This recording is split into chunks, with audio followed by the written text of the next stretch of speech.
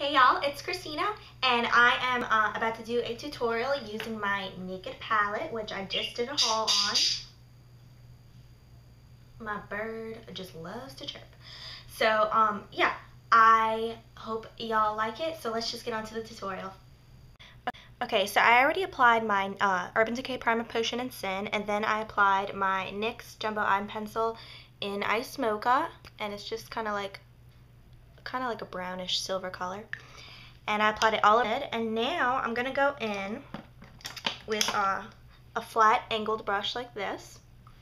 And I'm going to take the color Sidecar and apply it to the inner half of my lid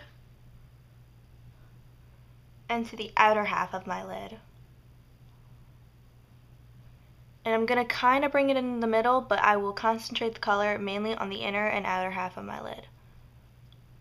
And now I'm going to take a flat brush like this, and I'm going to take the color Gunmetal and apply it just to the center of my lid. And then I'm going to go back in with that same angled brush and I'm going to blend the two colors together so that it's seamless. And now I'm going to use a fluffy pencil brush, kind of blending brush like this. And I'm going to use the color Toasted and apply it right above the two colors. This is going to give your face kind of like a warmth effect. And now I'm going to go in with a big fluffy brush like this and apply the color Virgin to my brow bone.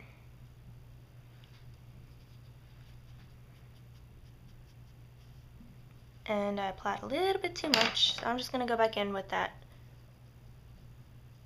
fluffy brush. And now I'm going to use a little pencil brush and go back in with that same virgin color and apply it to my tear duct. Now I'm just going to apply some eyeliner and I'm going to use my NYX Super Fat Eye Marker and I'm going to do a wing and I didn't apply any eyeliner to my lower lash line. Now I'm just going to curl my lashes and I'm going to use my favorite mascara, Maybelline One by One and apply it to my top lashes and to my bottom lashes as well. And now for blush, I'm just going to take a blush brush like this, and I'm going to use my Wonder Woman MAC. Um, it's called Mighty Aphrodite. And, the lighter color is going to go on top while the darker color is going to be at the bottom. And now for a cheek highlight, what I like to use is a little blending brush like this, and I'm just going to go in with that virgin color and apply it to my cheekbones. And for my lips, I'm just going to moisturize with my EOS lip balm. And I'm going to use my Lady Gaga Viva Glam.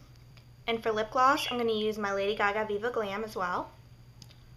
Alright, and that is it for the look. I hope y'all enjoy it. Don't forget to comment, rate, or subscribe. Um, I will see y'all in the next video.